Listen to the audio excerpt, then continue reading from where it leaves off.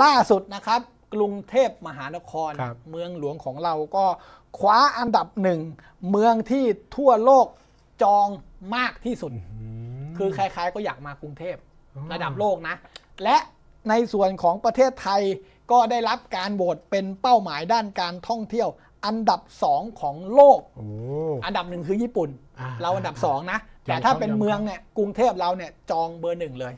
สุดยอดนะครับอืมอันนี้เป็นผลสำรวจของ Agoda อ่า Agoda นี่แน่นอนครับบริษัทแพลตฟอร์มออนไลน์อืมในการรับจองแหล่งท่องเที่ยวที่พักต่างครับๆนะครับ อันเนี้ยข้อมูลเขาเป็นมาตรฐานโลกอืมนะครับ ก็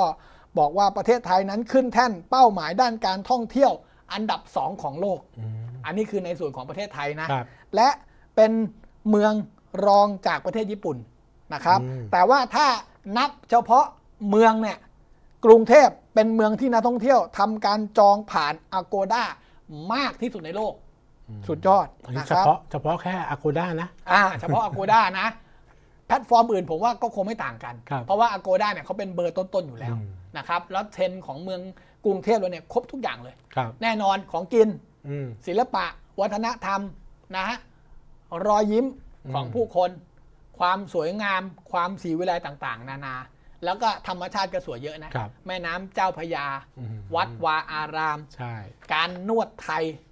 อะไรต่างๆนานา วัดโพวัดโพ สตรีทฟู้ดนะ นี่คือเสน่ห์เรียกว่าอือฮึอันดับหนึ่งของโลกสำหรับกรุงเทพอืมและประเทศไทยภาพรวมคืออันดับสองของโลก อันนี้ข้อมูลยืนยันชัดเจน อันนี้คือเป็นการโหวตครับเป็นการที่คนเข้ามาอาจองนะ คืออมมาตรฐานเลย คือจากสถิติเลยอะถูกต้องอันนี้ชัดเจนนะครับ